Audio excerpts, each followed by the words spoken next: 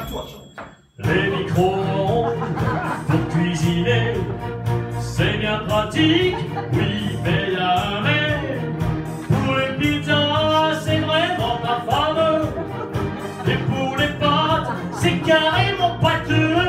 Je vous parle d'un chant que certains paysans nouvelle pétrolette. Qui se pensent qu'ici va qu'à le petit diamètre. Pour payer le prix d'une meilleure vie, ils refusent l'évidence que de progrès perdus. Si ces humbles semences sont brûlées dans la rue. L'eau gelée. Regarde, mon ourda soubi dans Chériassac à la frontière? Aïnois. Bon, mais c'est pas grave. Alors, C'est un drôle de petit gars, un Che